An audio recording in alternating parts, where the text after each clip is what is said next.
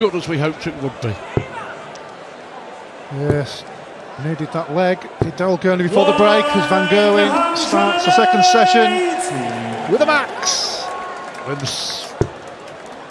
quarter final against Rob Cross, Van Gerwen trailed 3 2 at the break. He then proceeded to average now on 120 for the next five legs.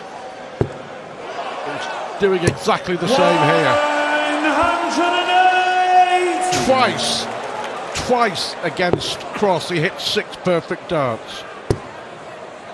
Oh, and six 100, Michael, you acquire On TV. 141. Well, we've already had the magical one from Clayton. Oh! We have liftoff! Again, again the nine darter from Michael Van Gerwen at the UK Open, a seventh. Perfect leg.